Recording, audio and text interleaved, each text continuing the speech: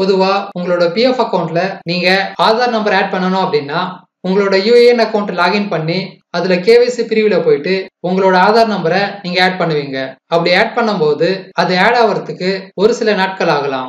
ஏன் அப்படின்னா நீங்க ஆட் பண்ணதுக்கு அப்புறம் அந்த ரிக்வெஸ்ட் வந்து உங்களோட எம்ப்ளாயர் கிட்ட போகும். அதை எம்ப்ளாயர் அப்ரூவ் பண்ணதுக்கு அப்புறம் உங்களோட பிஎஃப் அக்கௌண்ட்ல ஆட் ஆயிடும். எனவே உங்களோட ஆதார் நம்பரை வந்து யூஏஎன் போர்ட்டல் மூலமா அப்டேட் பண்ணீங்க அப்படின்னா அது அப்டேட் ஆகிறதுக்கு ஒரு சில நாட்கள் ஆகும். ஆனா உங்களோட ஆதார் நம்பர் ஆட் பண்றதுக்கு இன்னொரு வழி இருக்கு. அந்த வழிமுறையை நீங்க யூஸ் பண்ணும்போது உங்களோட ஆதார் நம்பர் வந்து உடனடியே அப்டேட் ஆயிடும். அதாவது நீங்க ஆட் பண்ண உடனேயே உங்களோட பிஎஃப் அக்கௌண்ட்ல அப்டேட் ஆயிடும். இதுக்கு எம்ப்ளாயரோட அப்ரூவல் தேவையில்லை. அதை எப்படி ஆட் பண்றது? அதை பத்தி பார்க்கலாம். நீங்க உங்களோட ப்ரௌசர்ல போயிட்டு பிஎஃப் இகேவைசி போர்ட்டல் அப்படின்னு நீங்க சர்ச் பண்ணீங்க அப்படின்னா உங்களுக்கு ஃபர்ஸ்ட்லயே இகேவைசி போர்ட்டல் அப்படின்ற ஒரு வெப்சைட் வரும். அதை கிளிக் பண்ணுங்க.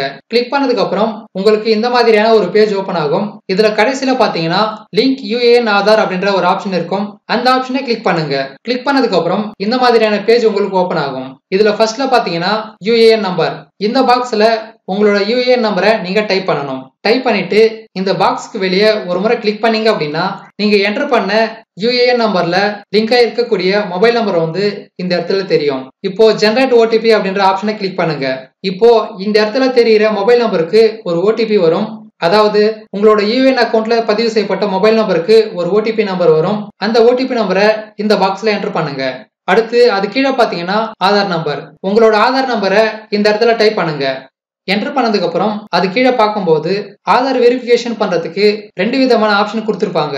ஃபர்ஸ்ட் பாத்தீங்கன்னா using mobile email based OTP மற்றும் யூசிங் பயோமெட்ரிக் இதுல டிஃபால்ட்டாவே using mobile email based OTP அப்படின்ற ஆப்ஷன் வந்து செலக்ட் ஆயிருக்கும்.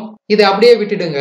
அடுத்து கேப்சா நம்பரை என்டர் பண்ணுங்க. அதாவது இந்த இடத்துல இருக்கக்கூடிய அந்த லெட்டர்ஸை இந்த பாக்ஸ்ல அப்படியே டைப் பண்ணுங்க. டைப் பண்ணிட்டு கடைசியா இருக்கக்கூடிய சப்மிட் அப்படின்ற பட்டனை கிளிக் பண்ணுங்க. கிளிக் பண்ணதுக்கு அப்புறம் இந்த மாதிரியான ஒரு பேஜ் ஓபன் ஆகும். இதுல உங்களோட யூஏஎன் நம்பர் மற்றும் ஆதார் நம்பர் வந்து ஷோ ஆகும். இப்போ அது கீழே இருக்கக்கூடிய ப்ரொசீட் ஃபார் வெரிஃபிகேஷன் அப்படின்ற பட்டனை கிளிக் பண்ணுங்க. கிளிக் பண்ணதுக்கு அப்புறம் வெரிஃபிகேஷன் ஆப்ஷனை சூஸ் பண்ணணும்.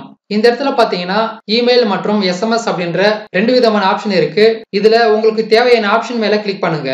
நீங்க எந்த ஆப்ஷனை சூஸ் பண்றீங்களோ அந்த ஆப்ஷனுக்கு ஆதார் தரப்புல இருந்து ஓடிபி வரும். இந்த இடத்துல நான் எஸ்எம்எஸ் அப்படின்ற ஆப்ஷனை சூஸ் பண்ணியிருக்கேன். சூஸ் பண்ணதுக்கு அப்புறம் ஜெனரேட் ஓடிபி இந்த ஆப்ஷனை கிளிக் பண்ணுங்க. இப்போ உங்களோட ஆதார் கார்டில் பதிவு செய்யப்பட்ட மொபைல் நம்பருக்கு ஒரு ஓடிபி நம்பர் வரும். அந்த ஓடிபி நம்பரை என்டர் பண்ணிட்டு வேலிடேட் ஓடிபி அப்படின்ற ஆப்ஷனை கிளிக் பண்ணுங்க. இப்போ உங்களோட ஆதார் நம்பர் வந்து உங்களோட பிஎஃப் அக்கௌண்ட்ல சக்சஸ்ஃபுல்லா ஆட் ஆயிடும். இப்போ உங்களோட யூஏஎன் அக்கௌண்ட்டை லாகின் பண்ணி செக் பண்ணீங்க அப்படின்னா உங்களோட ஆதார் நம்பர் ஆட் ஆயிட்டு இருக்கும்